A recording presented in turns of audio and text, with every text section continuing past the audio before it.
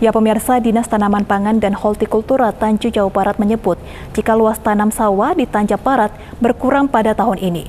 Diketahui saat ini sejumlah petani padi mulai memasuki musim tanam. Hal ini dikatakan langsung oleh Kepala Dinas Tanaman Pangan dan Hortikultura Tanjung Jabung Barat, Zainuddin. Di bulan Januari 2023 ini merupakan puncak bagi petani padi untuk mulai menanam padi di sawah mereka untuk di Kabupaten Tanjung Jabung Barat terdapat sebanyak 7.574 lahan baku sawah dan tersebar di enam kecamatan.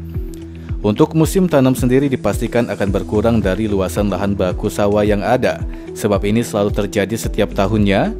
Meski demikian, sentra padi beras yang dihasilkan tetap bersumber di tiga kecamatan, yakni Kecamatan Pengabuan, Kecamatan Senyerang, dan Kecamatan Batang Asam. Kepala Dinas Tanaman Pangan dan Hortikultura Tanjab Barat Zainuddin menjelaskan, untuk di Kabupaten Tanjung Jabung Barat saat ini sudah mulai memasuki musim tanam padi di sawah milik petani.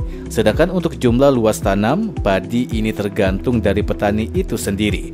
Sehingga jika telah usai musim baru dapat diketahui pasti jumlah luas tanam padi yang dilakukan oleh petani padi. Meski demikian, tidak menutup kemungkinan luas tanam dipastikan berkurang, sebab sebagian petani kerap melakukan ahli fungsi lahan mereka dari sawah ke tanaman pinang maupun sawit. Dikatakan Zainuddin, saat ini masih terdapat enam kecamatan yang memiliki lahan sawah, namun sumber lumbung padi terbesar dan lahan sawah terluas masih didominan di tiga kecamatan, yakni Kecamatan Pengabuan, Senyerang, dan Kecamatan Batang Asam. Zainuddin berharap petani padi dapat memanfaatkan momen musim tanam saat ini Sebab di tahun ini harga beras cukup mahal dibandingkan dari harga beras beberapa tahun belakangan ini.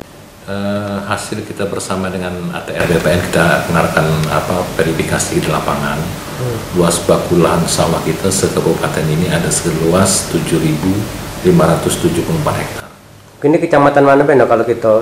Uh, dominannya di kecamatan daerah Pasang Surut di Pengabuan dan Senyerang. Hmm. Kemudian kalau ada irigasinya ada di Kecamatan Batangas. Ya, ini baru musim, masuk musim tanam Oktober Maret.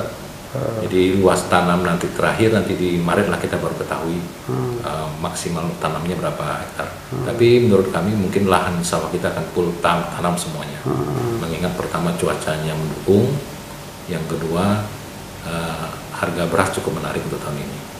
Lebih lanjut, Zainuddin menambahkan dengan melihat potensi masih terdapat luasan hektar sawah milik petani yang tetap produktif, ia juga pastikan kualitas beras dari petani dapat lebih baik dan minimal menjadi beras premium sebab saat ini kualitas beras dari petani masih berkualitas medium atau kualitas rendah. Surya Kurniawan, Cek TV, melaporkan.